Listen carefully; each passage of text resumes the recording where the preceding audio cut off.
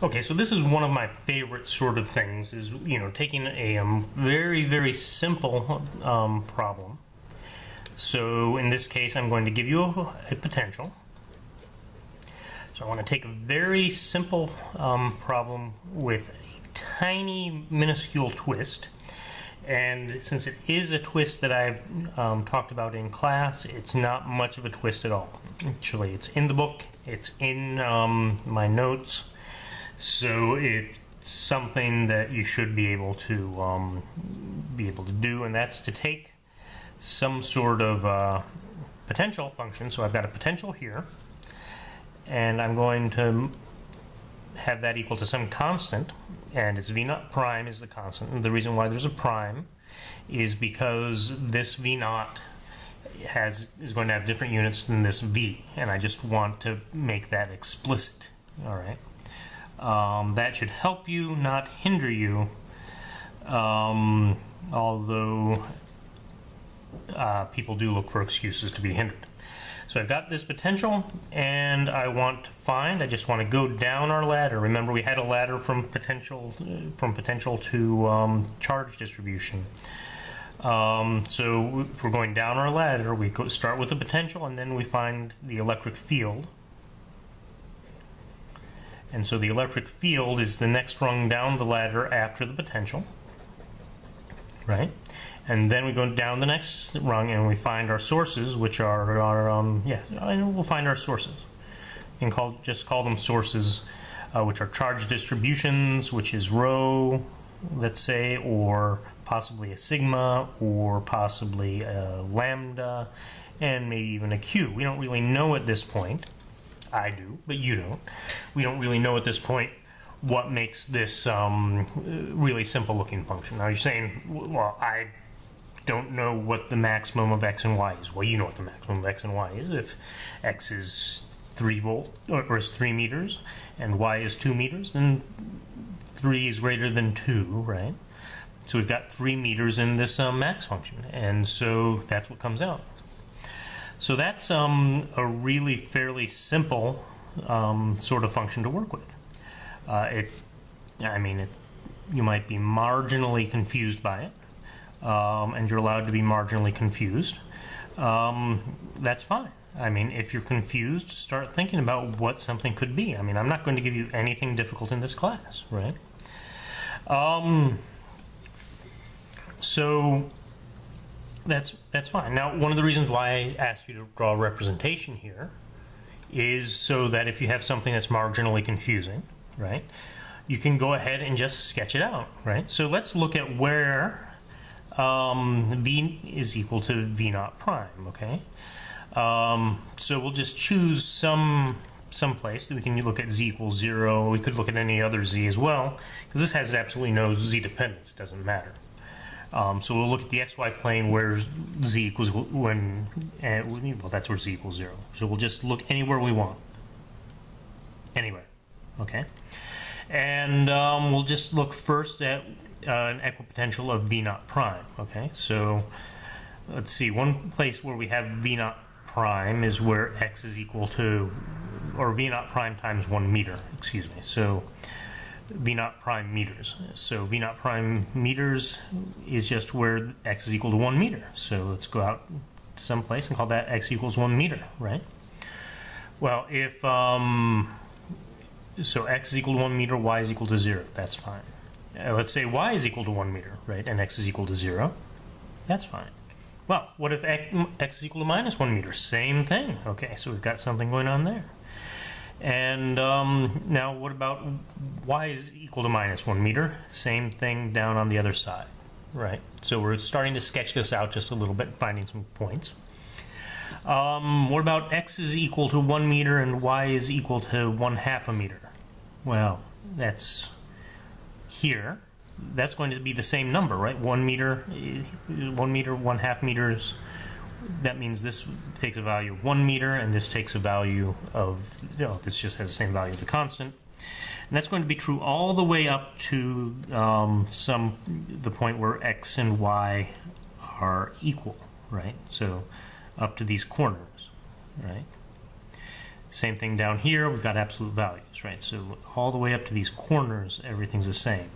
Now if we come up here to x is equal to um, 1 meter and y is equal to 2 meters, so 1, 2, this guy is not part of this, right? Because that's 2 meters times v naught prime, so that's 2, me 2 v naught prime meters, so it's twice as much. So this point is not part of what's whatever's going on here. Anywhere where y is greater than x is not part. And anywhere where x is greater than y, where y is greater than one meter is not part of it. And anywhere where x is greater than one meter is not part of it.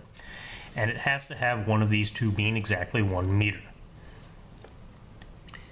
It's nice, it's simple, and it's fun. So we have something that looks like that. We have a square. Haven't you ever wondered how to draw a square? Well, that's how you draw a square. Isn't, isn't that cool? So, I mean, that's an implicit function for a square.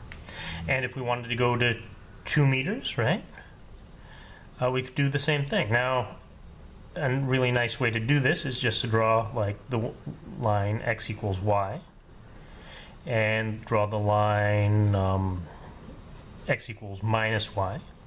And this is where they switch, right? This is where where they switch off between going this way and going th this way. So go. So now after we've cut off that y, we said what we said that's two meters. We can just draw a straight line, and we can do the same thing here, and we can do the same thing here, and the same thing here. All right, and that's um, so if this is v naught prime meters, then this is v naught uh, two v naught prime meters and we can keep on going out and out and out and out. We've got an infinite number of them because um, we can change what we want v, v to be over here, right? And that's that's exactly what the potential, um, the equipotential diagram is for, is for looking at things that you know you think might be a little more complicated, seeing what they mean. And now we know what it means. We've got this square, we've got this sort of square um, potential thing going out. And now we want to figure out well, what makes it? Right? What makes it? Now, I've often done this. Um, I've often done this in the uh, in a slightly different orientation. So if I'm going, the easiest way to right to do this in the going up the ladder is to do this at a 45 degree angle from what it is. Um, so that's a good one. Um, so we can use that, right? Um, so yeah. Anyways, you know, I often do it the other way around. We can do this down. Uh, we can go up. We can go down, right? And we should be able to do the reciprocal things. Now, I don't remember anybody turning in this problem. I remember doing it, and I know I had it in um, last year's problem sets. I'm not sure if I ha have I did it in this year's problem sets, um, but you know it's something that's equally equally doable. We were able to do the um, reciprocal problem, where we start with our charges and go and move and move um, up to the uh, potential. We were able to do that um, two weeks ago. Um, so but we're going we're going down, and we can do this now. Uh, Gauss's law. Gauss's law, just um, for fun, that's E naught or epsilon naught times um, del dot E, right? So that's our differential form. So that's going to take us down this rung of the ladder from E to rho. Um, and then we have the other um, rung, which goes from here to here, which is uh, E is equal to minus del V, right? Um, again, another very, two very simple applications of this del operator, the gradient and the divergence, bang, bang, bang. Um, you see, you notice how I saved you from actually snapping my fingers, but this is going to be something that's really easy for you, and I'm, uh, and I, I think it's something that you should be able to do. And uh, there's a test a little bit later, and that test will include doing things like this in at least three of the problems. So um, let's see what we do. We have a strategy. We need a strategy to go along with this. Right? So what I suggest for you is that you rewrite v. Okay, so you you're looking at this and you're saying, well, how do I take the derivative of that? Well, yeah, that's kind of that's kind of weird, right? Nobody's told you what the derivative of the maximum function is, right? Um, so you have to rewrite it, and there are different ways you can rewrite it. Um, the one way that I've told you to do this is to rewrite um, rewrite this potential function you know in these four different um, quadrants A, B, C, and D, uh, where A is in where A is in between these two line these two lines, B is in between these two lines, C, and so forth. For this, you can write that potential function really, really easy, right? You just look at it and you know exactly what you're doing. Uh, you just say, okay, um, here uh, the x doesn't matter. The only thing that matters is the y, right? So we have v naught prime y, because in here in this in this um, quadrant, y is always greater than x. So um, we just rewrite that, right? And you know we're good to go. We can take that and then use it later. Um, then we um, take the gradient, right? And, when, and so we just come over here and we say, okay, we've got this gradient. We'll take the gradient in each one of those, um, in each one of these uh, separate places, and we'll use that to find our field, right? Um, that is not going to be really, really difficult. And then finally, go ahead and take our divergence, and we'll do our Gauss's law. Right? So this is one of these really, really, really direct problems, okay? Um, if I just told you to find the sources, and I and I hadn't asked you to find the field in the middle, uh, that would be uh, it would be um, a little more complicated. As it is, it's just two one formula problems. I mean, this is as easy as it gets, right? This is high school level, middle school level um, physics, right?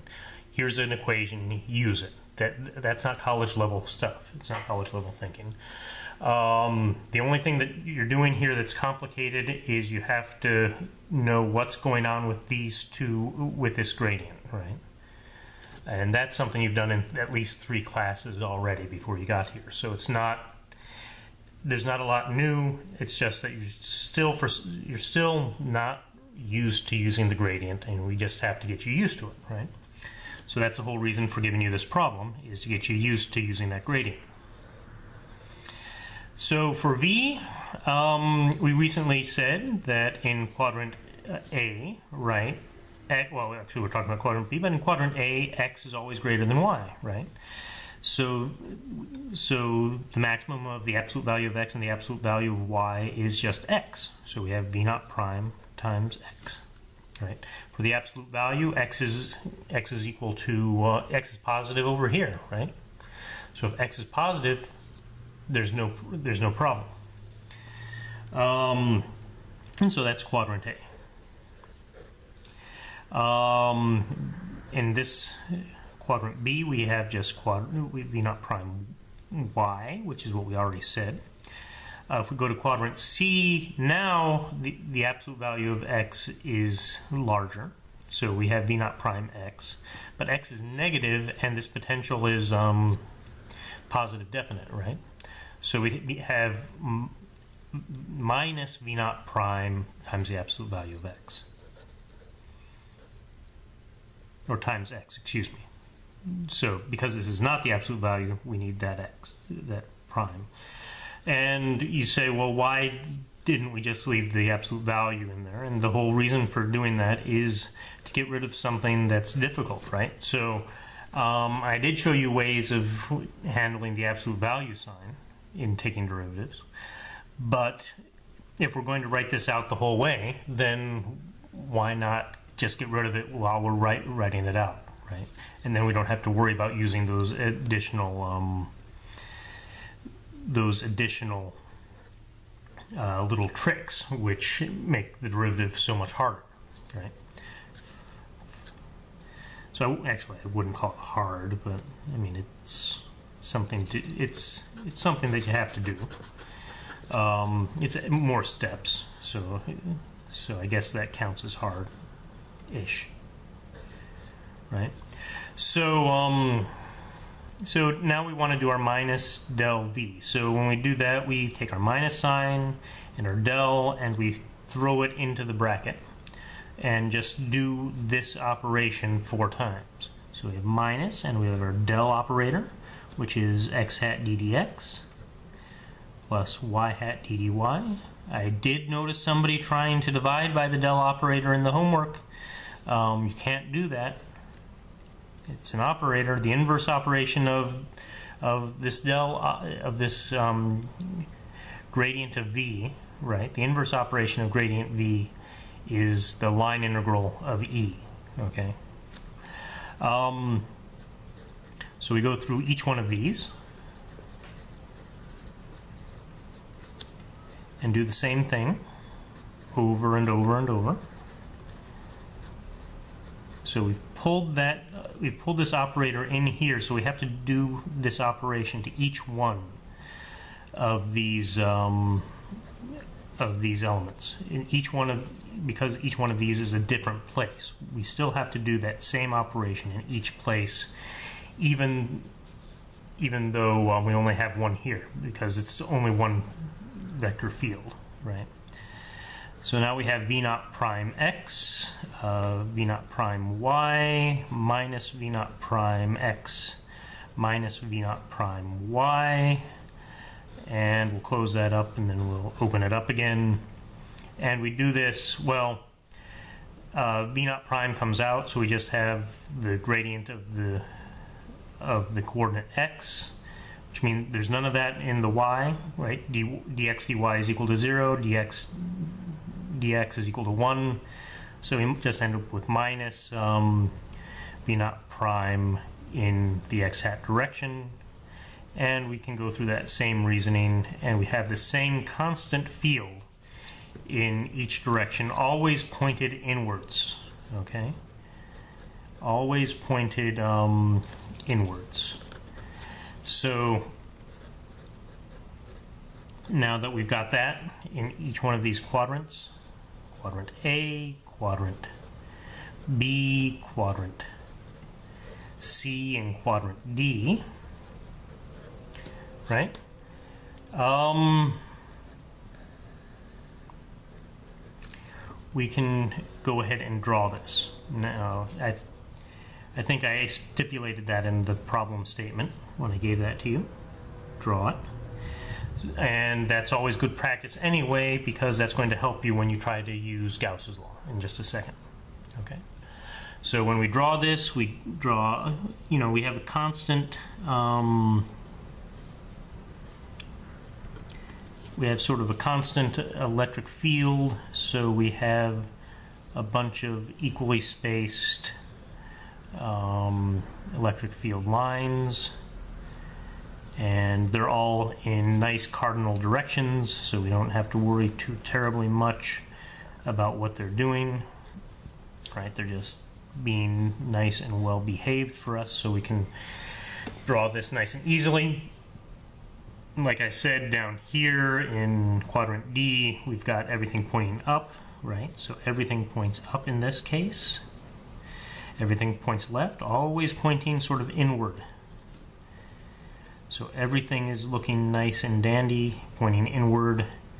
And that tells us something right there, right? Just by looking at this, we know that our action is going to be at these two lines.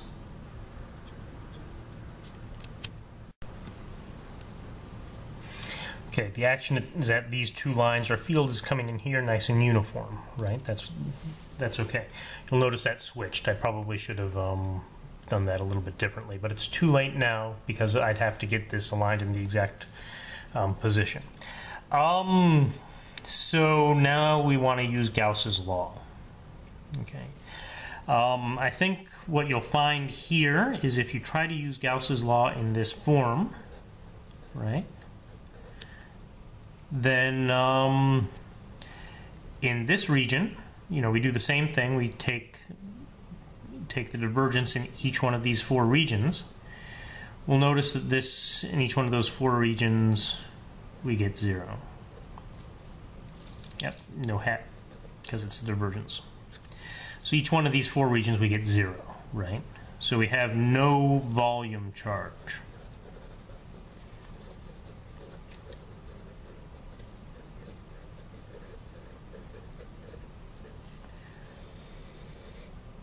So does that mean we have no sources? Right? We're looking for our sources using Gauss's law. Does that mean we have no sources? No, it doesn't. No, it doesn't. Obviously, we have some sort of source here because we have a field, right? And the field is changing, right? So we could say that if it was all just a uniform field coming out from way out over here and nothing was changing, then there was there was no um, source. But you know, if we just had you know parallel lines, then uh, there'd be nothing there. But there, we've got changing stuff right here. So how do we take care of that? Well, what did I do in class, right? Well, in class I wrote out, um, I wrote this out. This is in your book somewhere as well, but uh, I used this um, approximation, or it's not an approximation. I used this rule that um, the charge, the surface charge density at a surface, right, has to be at a surface because it's a surface charge uh, is equal to the change in the electric field times the normal direction of that um, of that surface. So we've got four places here, but we really have two. We have x equals y and um, x equals minus y, right? But we can go ahead and do them for all four. I'm not in a hurry with, for time because that's the nice thing about using the um, using the YouTube to do this, right? Is not in a hurry for time.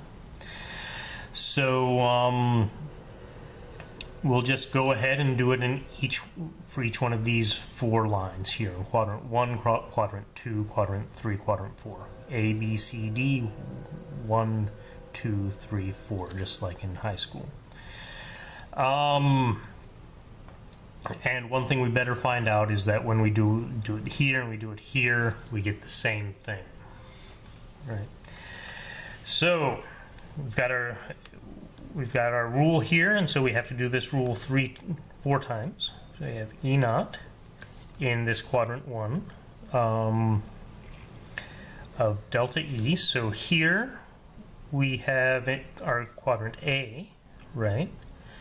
um, minus v naught prime x hat, right, I believe. Um, and then over here we have um, minus, minus, or over here we have minus v naught prime y hat.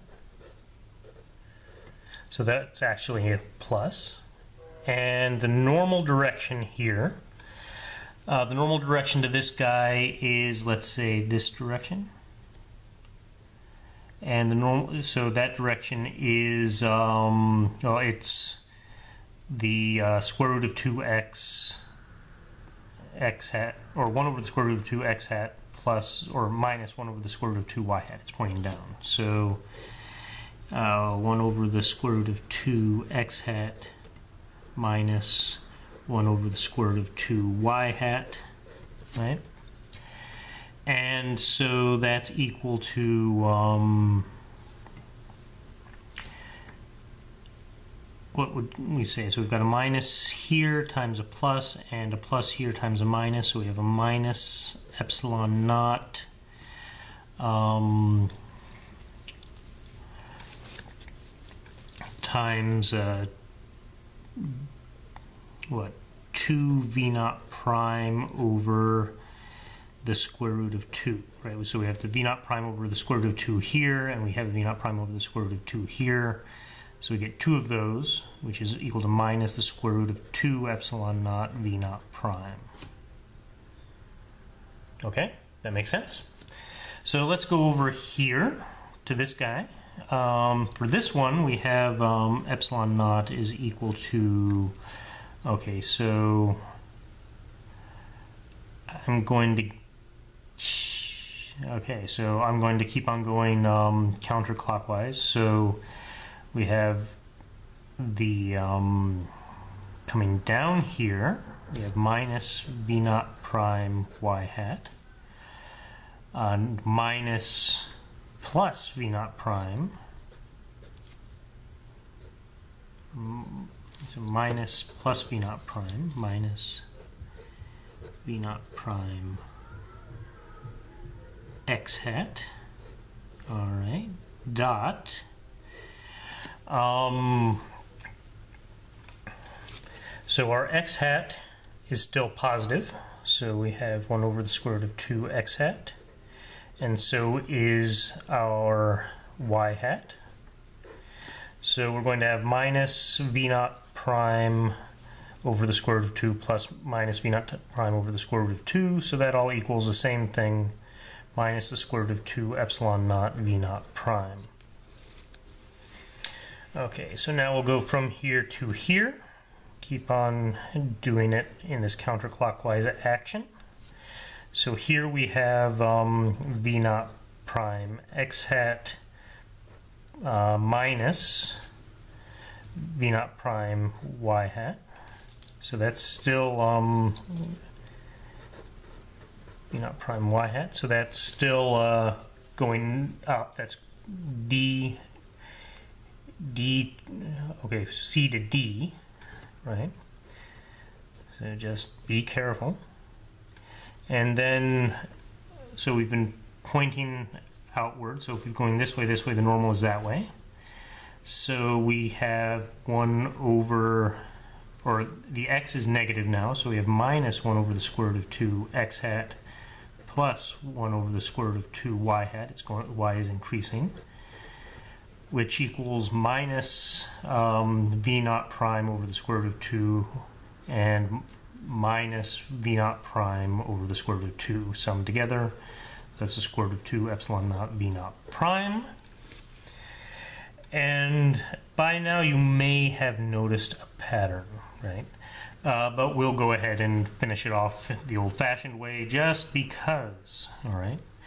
So we're going from D to A, so we have V naught, v naught prime y hat minus um, minus v naught prime x hat for quadrant A dot. So we've gone from here to here, our normal's there.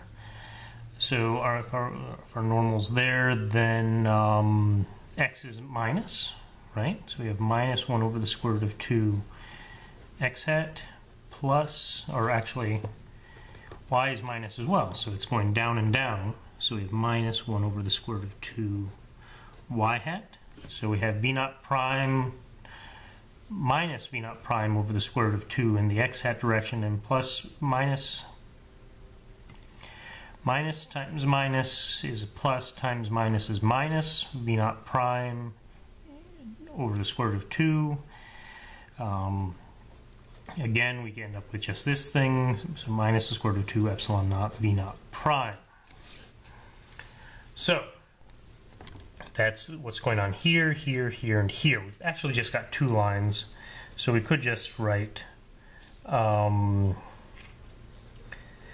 that our sigma is equal to uh, minus 2. No, we, we just have two lines with sigma equal to minus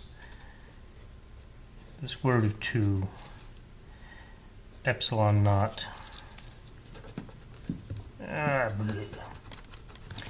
okay, let's.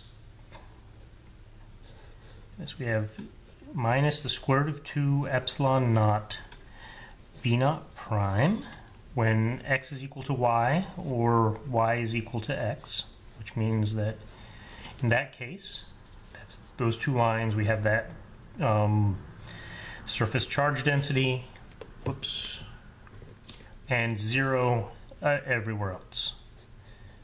So they're not equal to each other, zero. So we do have a nice happy um, a nice happy surface charge density and that's two sheets two sheets that intersect at a, at a right angle um, that have this uh, that have this um, uniform surface charge density. So, like I said, what I've normally done is, and I'm sure I, am really sure that I've um, done this in. This was one of the options in your packet because it's always a good one to look at. Is what I, what I've done is I've started with these these two planes, but I've done them at 45 degrees. So I've had one that would be like in the XZ plane, and one would be the YZ plane, right? And I'd given you these, and then you'd use Gauss's law in the integral form to find the field, right? And the field would look this, like this, and this, and this, and this, because you'd superimpose the field from this one and add this this this one. So you you know what the from one infinite um, uniformly charged plane, you already know what the answer is. It's a straight electric field going up. And from another one, it's a straight electric field going the other direction, right? So nice uniform fields in different directions, and you just add them up with the superposition principle. And usually I use a positive charge, so it would go like that, all right? And then you take that and you'd say, okay, now that I've got this, I can do my line integral stuff. Um, and I probably stipulate that this is um, this point is zero, and then you just do your line integral to any old point that you wanted to, and you'd figure out that if as long as you stayed in this one quadrant, you always ended up something nice and easy. And if you wanted to do a line integral around like that, well, that's your business. I'm, I'm not going to deal with you. Um, and that's the nice, easy thing that I gave you to do and I hope you enjoyed it as much as I do. I really love it um, doing some doing something like this that looks complicated but is really really so simple, right? It's complete and direct, and it looks like it's supposed to be complicated, but there's nothing really hard in it. The only thing that's hard, the only thing that makes this hard is that you want it to be hard. Okay. So, so that makes it a really, really, really good problem. Is that the only the only hurdle to this, the only thing that's hard about it, the only thing that is difficult for you is getting yourself to do it. It's a really great problem that way. Um, I'll talk to you later.